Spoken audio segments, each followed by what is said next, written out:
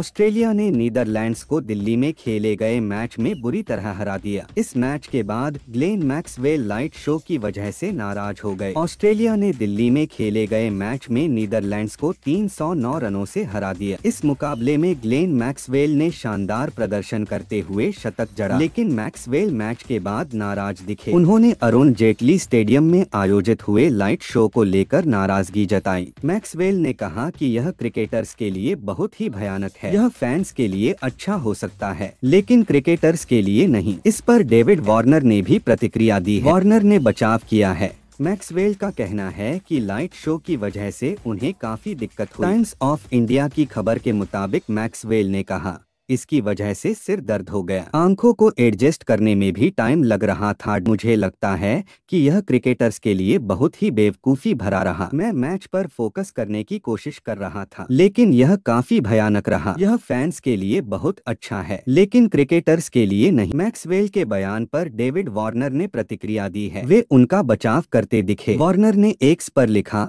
मुझे light show काफ़ी पसंद आया। क्या माहौल था? यह सब कुछ फैंस के लिए ही था। आप सबके बिना हम वो नहीं कर सकते हैं जो हमें पसंद है। मैक्सवेल ने दिल्ली में नीदरलैंड्स के खिलाफ दमदार प्रदर्शन किया। उन्होंने महज 40 गेंदों में शतक पूरा कर लिया था।